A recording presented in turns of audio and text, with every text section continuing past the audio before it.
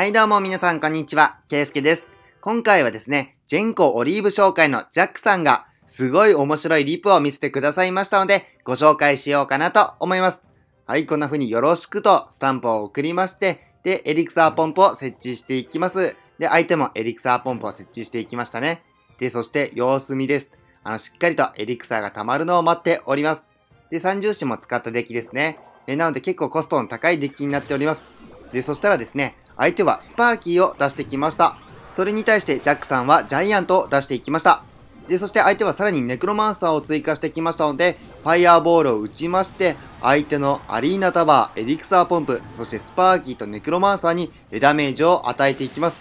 で、ここでやっぱりスパーキーすごいですね。え結構ジャイアントの体力を削っていくんですけれども、えここでですね、ジャックさんは三重視で相手のジャイアント処理しようとするんですけども、ここでまさかのフリーズで左のタワーを一気に落とされてしまいます。もうこの時点でもうやばいですよね。もう大変でございます。えこれで一気にキングタワーも落とされそうになります。はい、こんな風にガーゴイルの群れを出しまして、えー、処理していくんですけども、結構ですね、キングタワー削られてしまいました。えもう半分近く削られてしまったんですけれども、えここからジャックさん逆転していきますので、ぜひぜひご覧くださいませ。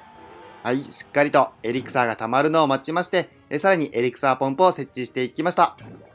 で、そして相手もですね、先ほどと同様エリクサーポンプを設置していきまして、お互い睨み合いが続きます。エリクサーが溜まるのをしっかり待っております。で、しっかりとですね、え溜まるのを待ちまして、で、10になった段階で、